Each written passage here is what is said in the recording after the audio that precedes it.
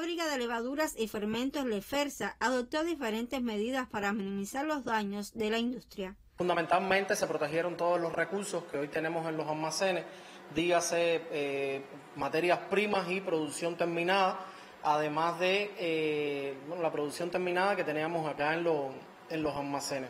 Teníamos también los grupos electrógenos con capacidad de combustible para garantizar una cobertura de hasta cinco días acá en la empresa para el caso de que ocurra algún, algún problema eléctrico, bueno, ya tener la cobertura de combustible para acá, para, para la entidad y garantizar también la, la, la, energía de aquí de la, de la empresa.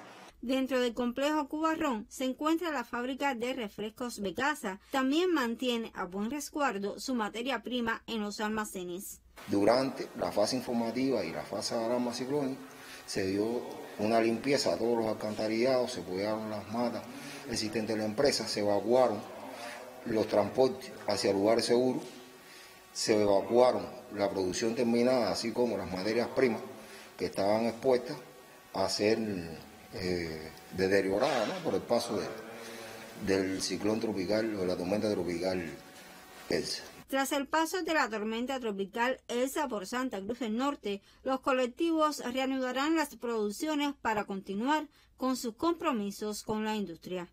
En Mayabeque, Marianela Tapanes Bello y Osier Ramos, Sistema Informativo de la Televisión Cubana.